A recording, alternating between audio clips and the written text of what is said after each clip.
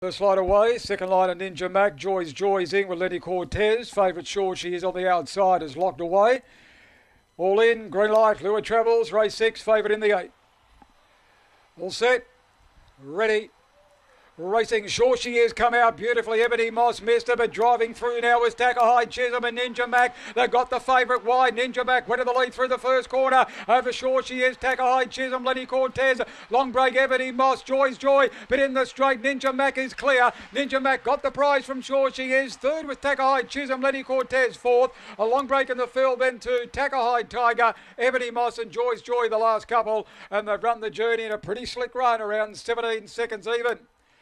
Well, she just couldn't get across the favourite sure she is, and Ninja Mac has driven straight underneath him into the first corner. And he has got home, continues his recent good form by Fernando Bale and Explosive Brown. Ron Alcock, the owner trainer.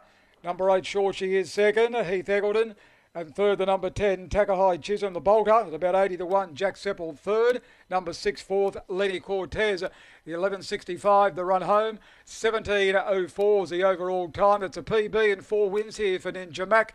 Three lengths by a half the margins. Three by a half. Two, eight, ten, six on race number six.